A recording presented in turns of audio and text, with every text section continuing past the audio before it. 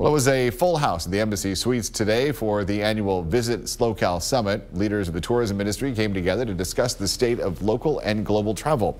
Executive members of Visit SLO CAL say last year was the best year for tourism ever because people are looking for fun as we head to the post-pandemic era.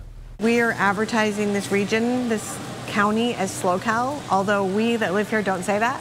Um, and so really getting that nomenclature out there because we want to define ourselves. We are not the neighbors to the north or the neighbors to the south. We are not Monterey. We are not Santa Barbara. We are not LA. We are not San Francisco. How do we differentiate ourselves? And one of the ways to do that is to call ourselves something different. And so leaning into that, I think, is something that's really important.